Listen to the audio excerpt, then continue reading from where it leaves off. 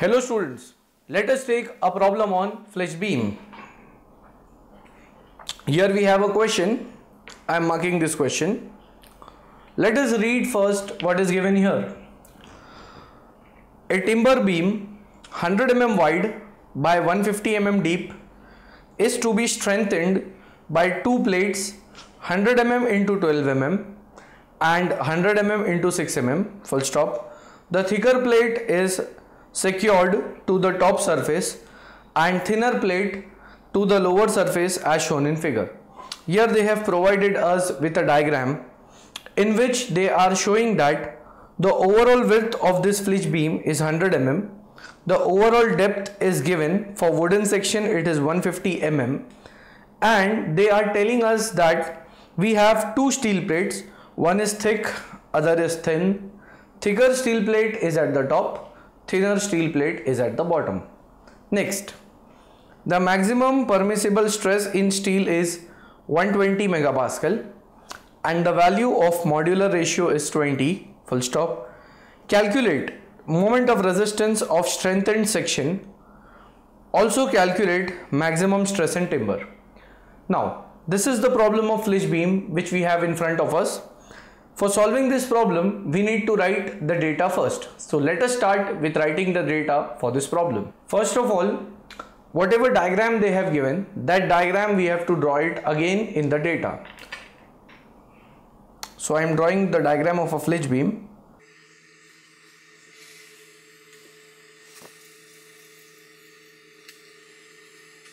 This is the flitch beam which is given in the question where the middle section is made up of wood and at top and bottom we have two steel plates. Now I would be writing the dimensions what is given here.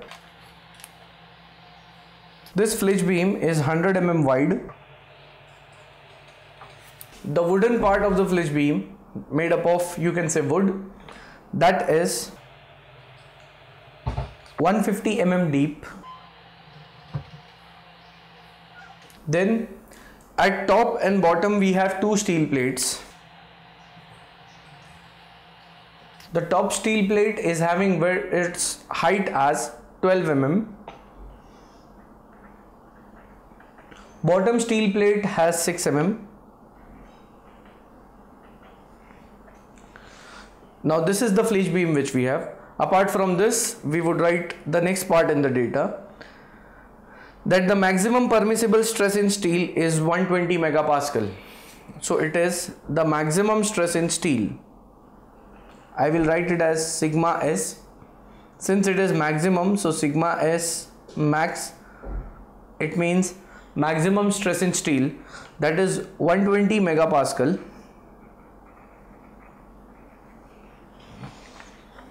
And value of modular ratio is 20 so small m is equal to 20.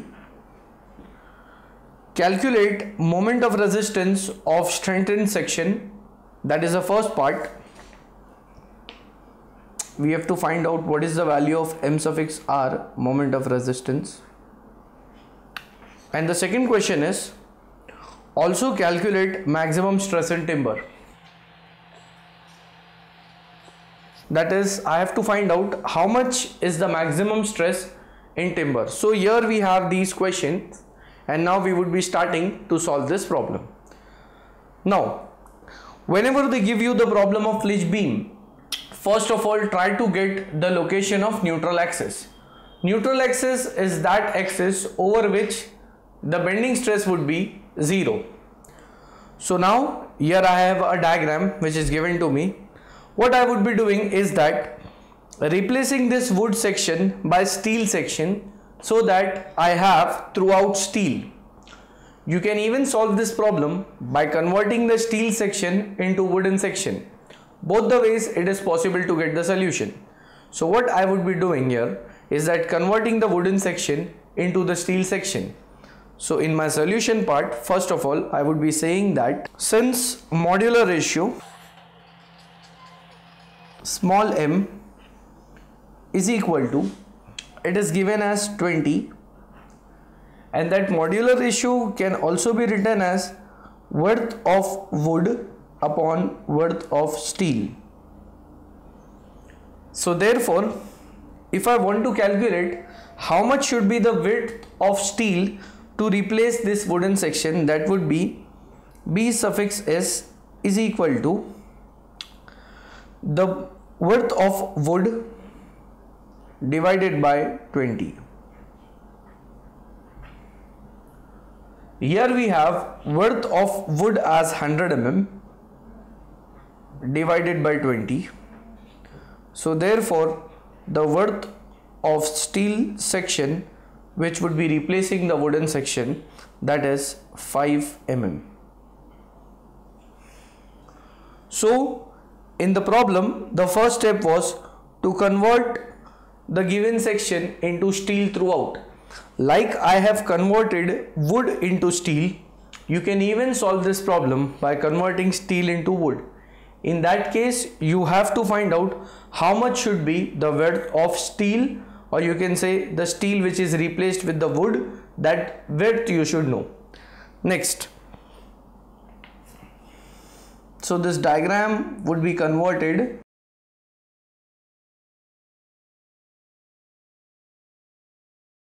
now I have converted this wooden section into a steel section so throughout I have only steel here. I would be marking the dimensions here. 100 mm is the width at bottom. Similarly, 100 mm is the width at top level. Next, the thickness of the top layer is 12 which we already have and the thickness of the bottom layer is 6. The width of this section which I have converted from wood to steel is 5 mm and its height is 150 150 mm so this is the diagram which I have in front of me I would be solving whatever is asked based on this diagram because I have converted wood into steel and this is the equivalent diagram which we have so I can write here that this is the equivalent diagram in steel. Next, here I can see that it is an I section. So I need to get the location of neutral axis here. Neutral axis as we know it is that axis at which the bending stress is 0. So I need to know where this axis is there in the section. So for that purpose what I would be doing I would be dividing this entire figure this I section into three different sections that would give me this would be I will be calling it as my first section and here I have my second section and at the top I had my third section. Now based on these three sections I would be calculating the value of y bar because the distance y would give me the location of horizontal axis. After this I will be saying that since location of neutral axis is given by y bar is equal to a1 y1 plus a2 y2 plus a3 y3 upon area 1 plus area 2 plus area 3 therefore y bar is equal to area 1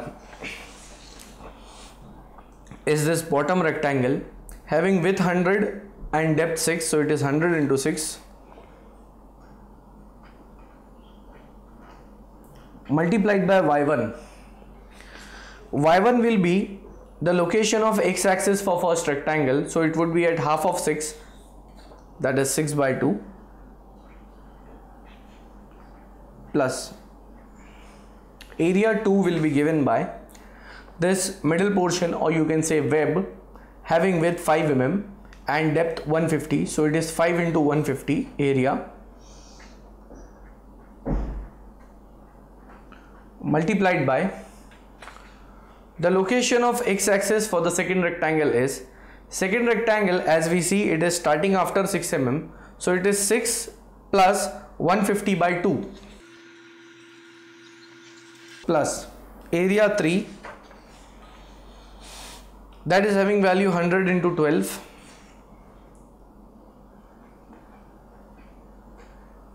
multiplied by y3 this third rectangle is starting after 6 plus 50 156 mm.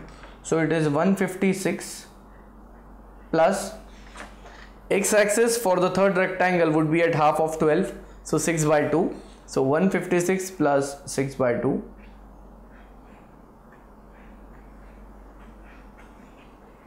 divided by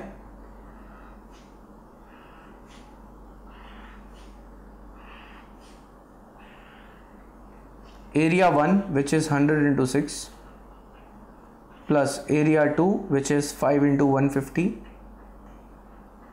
plus area 3 which is 100 into 12 from this I would be getting the value of y bar which I have already calculated and that answer comes out to be 100.76 mm now this location of y bar is from bottom.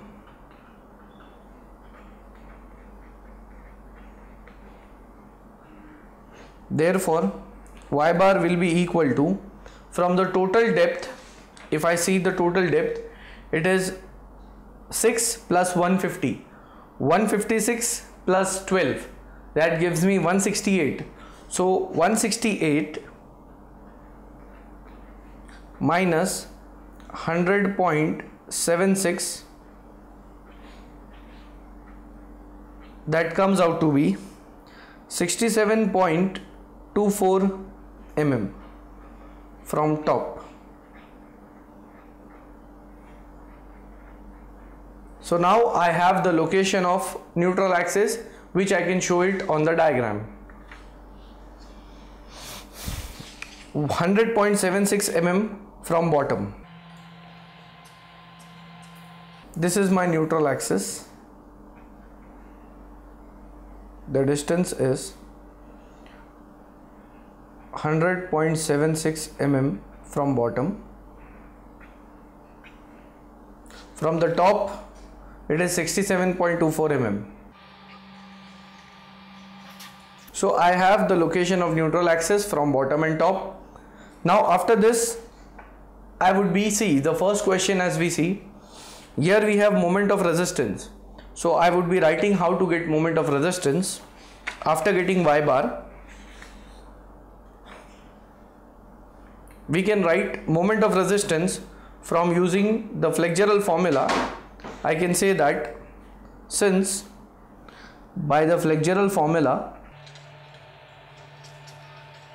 from this formula we have m upon i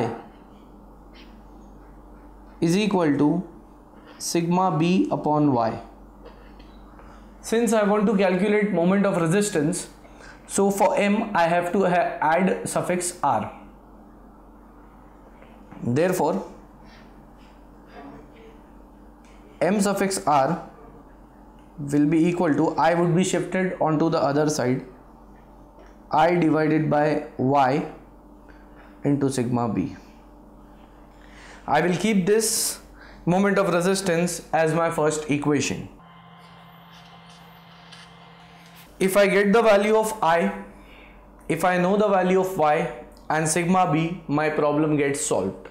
So here I would be going first for the calculation of I, which is the moment of inertia of the section. So let us start calculating it. Now, since moment of inertia of the section is given by I will write down I is equal to since here I have three different sections that is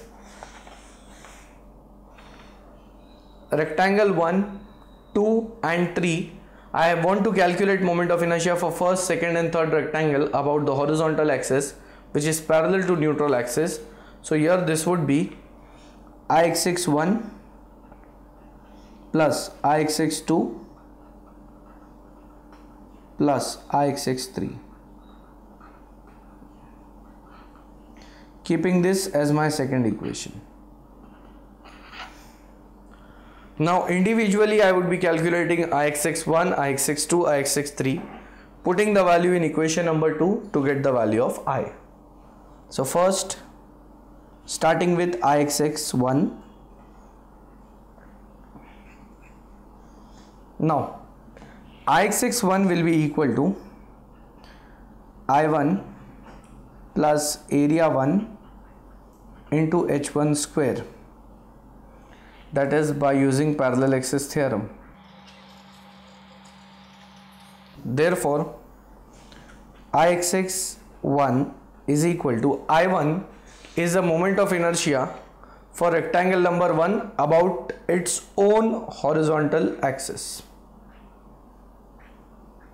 So about this horizontal axis, the moment of inertia is rectangle 1 is having width b and depth 6 okay so width is 100 depth is 6 so it is bd cube by 12 that is 100 into 6 cube divided by 12 plus area 1 is 100 into 6 h1 is the distance between the neutral axis and the horizontal axis of rectangle 1 so the distance would be 100.76 minus 3 mm we have to calculate this distance. This is h1 for us okay? So h1 is 100.76 minus 3 mm so 100.76 minus 3 whole square. So from this if I calculate I would be getting Ixx1 value as 5.78 into 10 raised to 6 mm raised to 4 similarly I would be calculating Ixx2 and Ixx3 so Ixx2 will be equal to I2 plus area 2 into H2 square this is again by parallel axis theorem. So therefore Ixx2 will be equal to I2 that is for the second rectangle second rectangle is having width 5 mm. Its height is 150 so BD cube by 12 that is 5 into 150 cube divided by 12 plus area 2 is 5 into 150 h2 that is the distance between the neutral axis and the horizontal axis of rectangle 2 horizontal axis of rectangle 2 would be passing through half of 150 that is 75 mm from bottom. It would be from here it is 75 mm. I want to calculate the distance between neutral axis and the horizontal axis of rectangle 2 so that would be 100.76 minus 75 plus 6 I hope you all are getting this. That is 100.76 minus 81 that will give me the answer of h2 distance between neutral axis and the axis of second rectangle. So it is 100.76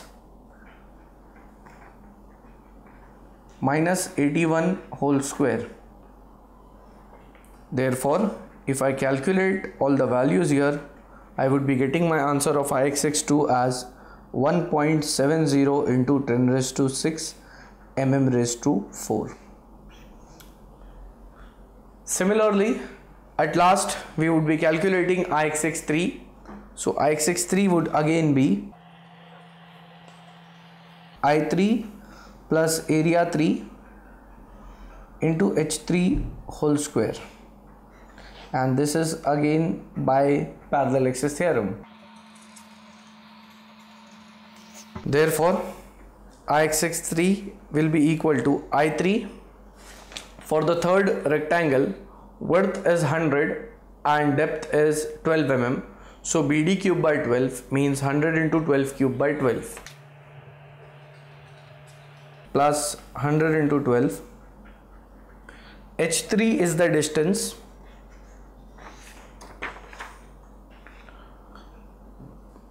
between the horizontal line or you can say horizontal x-axis of third rectangle and the neutral axis. Now this distance is my H3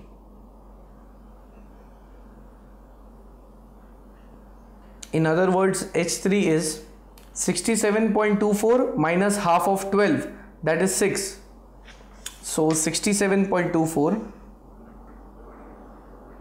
minus 6 whole square from this I would be getting Ixx3 is equal to 4.51 into 10 raised to 6 mm raised to 4 so here I have all three values Ixx1 Ixx2 Ixx3 I will be saying that put Ixx1 Ixx2 and Ix3 in equation number 2 so therefore if I look into equation number 2 here I have capital I is equal to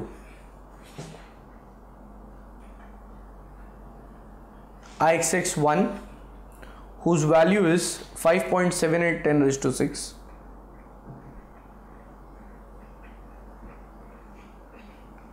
plus Ix2 value is 1.7010 raised to 6 plus ix3 the value is 4.51 10 raised to 6 if I add up all these values my answer of I will be 11.95 into 10 raised to 6 mm raised to 4 so now I have the value of moment of inertia. Next thing is that in equation number 1 because we need to calculate moment of resistance i value we have calculated. We need to know what is y. Now this y would be the maximum value of y because at y is equal to maximum value bending stress is also maximum and moment of resistance is also maximum. So whenever we are calculating moment of resistance we need to calculate the maximum moment of resistance. So we would be going on to this y. If I show you the diagram out of the two values that is 100.76 and 67.24 we have to select the maximum value of y. So my maximum value of y is 100.76 mm I will say that therefore y is equal to y max and that y max is 100.76 mm. And in the problem they have given us the maximum stress in steel. So the maximum stress in steel would be at a distance of 100.76 mm from the bottom. So at this layer we are having maximum stress and that was given in the problem as sigma is max maximum stress in steel 120 megapascal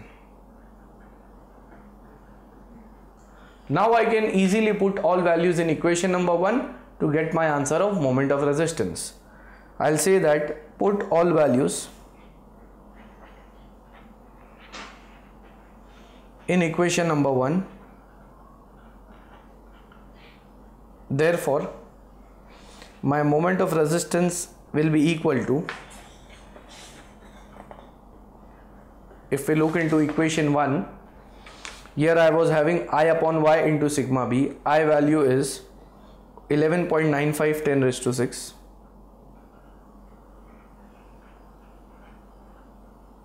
divided by y is y max 100.76 multiplied by sigma b that is 120 megapascal for steel 120 therefore my moment of resistance answer will be 14.23 into 10 raised to 6 Newton millimeter which I can even convert into 14.23 kilonewton meter. This is my first answer. The second part is moment of resistance we have already calculated. the second part in this question is maximum stress in timber that we have to calculate. So for that what I would be doing I would be drawing a stress diagram to explain it to you all how to get maximum stress in timber.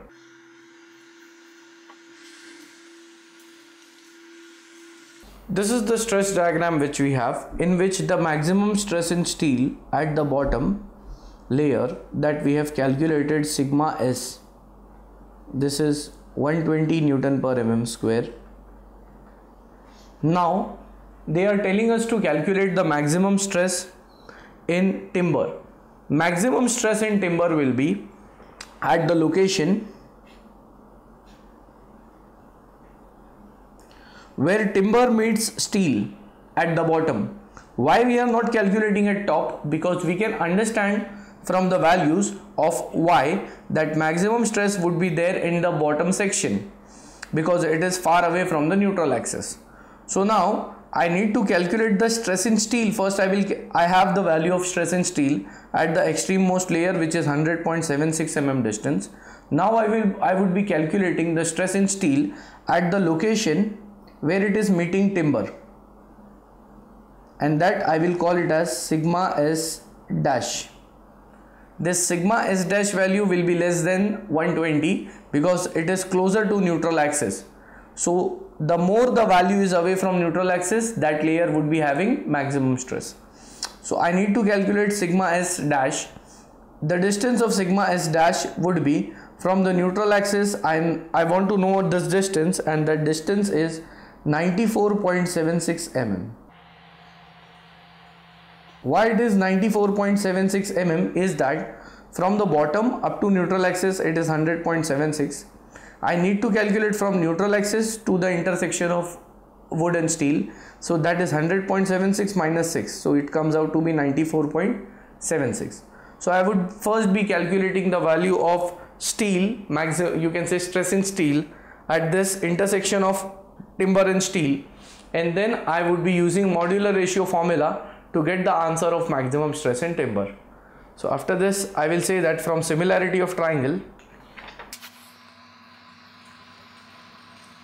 from the similarity of triangles here we can see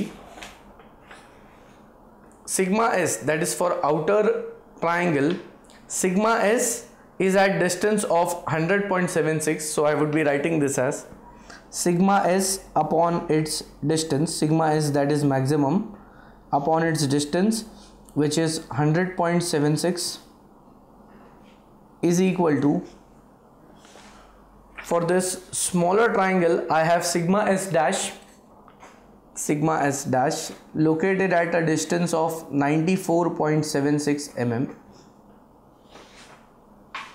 Sigma s dash is at 94.76 mm so from this I can say that therefore sigma s dash is equal to sigma s max which is 120 upon 100.76 I will send 94.76 onto the other side. So therefore I have sigma s dash value that comes out to be 112.85 Newton per mm square. Now once I know the value at the intersection or you can say at the junction where wood and steel are meeting now I can easily calculate the maximum stress in timber. After this I'll say that since modular ratio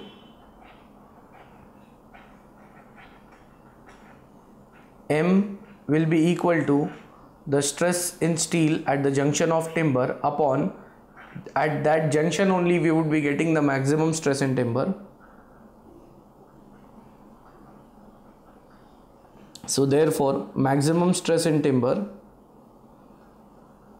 will be equal to sigma s dash 112.85 divided by modular ratio which was given in the problem as 20 so from this I am getting sigma T max that is the maximum stress in timber.